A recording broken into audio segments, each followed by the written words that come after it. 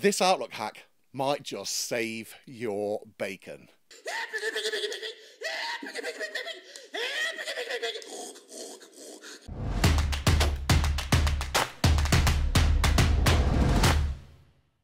Right, I know this has happened to you, and if by some miracle of fortune it hasn't yet, it's definitely going to.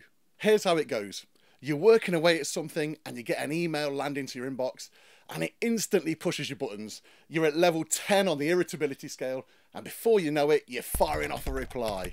You're in full cap shouting mode, you're even using as per my last email, and you're signing off with regards instead of your usual kind regards because you know that cuts deep.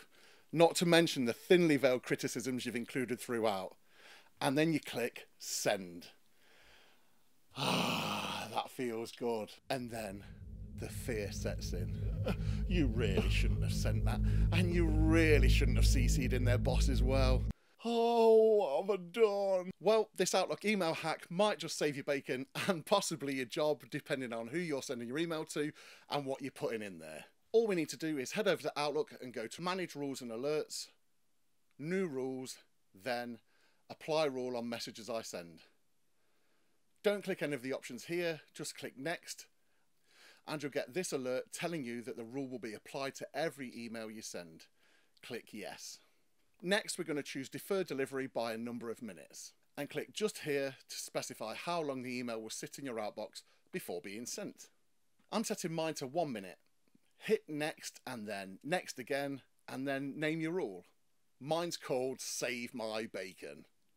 Click Finish, then OK and OK. So now when I send an RC email or I forget to attach something and I want to go back in and edit, I've given myself a one minute buffer that will allow me to jump back into my outbox, double click on the message and just dial things down a bit. Sometimes a minute is all we need to think a bit more clearly and a little less emotionally. If you found this tech tip useful, then you might want to check out my Outlook Hacks playlist here.